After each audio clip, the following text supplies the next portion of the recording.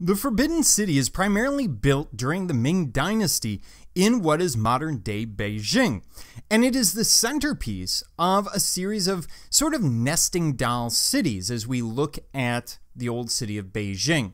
So we see the inner city within that, we see the imperial city within that, we see the forbidden city.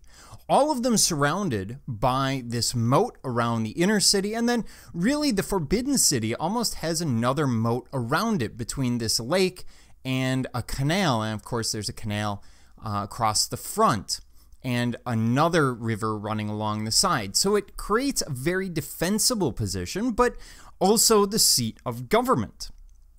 Now, when we look at the Forbidden City itself, you'll notice it is laid out on your classic grid pattern, and it is very symmetrical. This is really the Chinese kind trying to impose organization, to impose civilization on the landscape, something we'll get into more in a minute.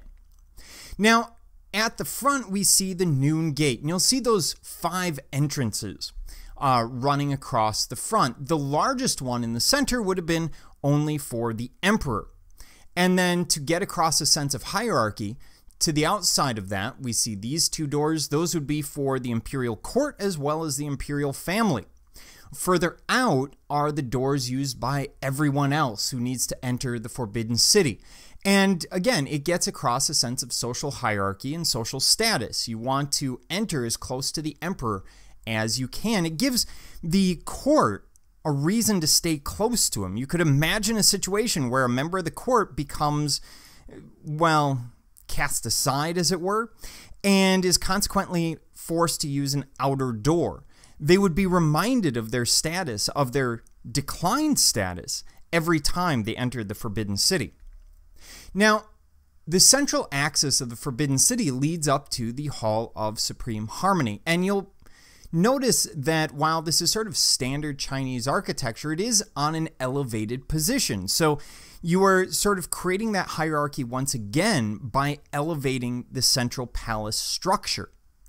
The basic architecture is exactly what we would expect. We have the bracketed uh, long eaves that we expect from Chinese uh, construction. Everything is primarily wood with the exception of the tile on the roof. And if we go inside, we'll see another increase in elevation as we get towards the Emperor's throne in the center of the structure. So we're setting up that sense of hierarchy throughout the entire Forbidden City, both in terms of entryways and who gets closest to the center, but also in terms of elevation. Now, as I said, the whole thing is really imposing civilization on the landscape. Beijing being built not so much organically. It's not like many other cities. It's built along sort of a central plan. And we see that in scenes like this. Now, here we're looking at the backside of the Noon Gate, and, or sorry, we're looking at the backside of the hall, and we see that channel cutting through, and it's all walled in. It's all been organized along a very specific, very intentional course. We see it here too as we look at the city overall, the Noon Gate in the foreground.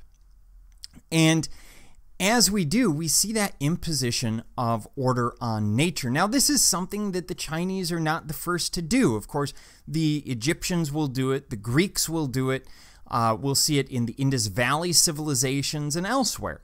Uh, we've seen it in the Americas. It's a very human idea, and it's one that comes from this concern of the wilderness. We don't like chaos, we don't like disorganization.